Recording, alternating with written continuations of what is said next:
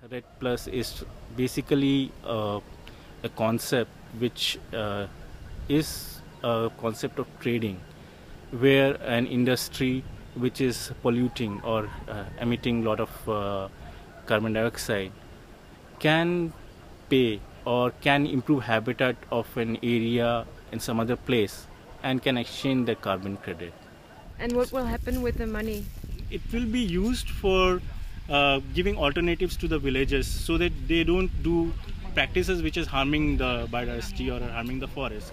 And they can advertise this that we are uh, doing something to uh, reduce uh, carbon emission and we are doing something to absorb this carbon away from the atmosphere.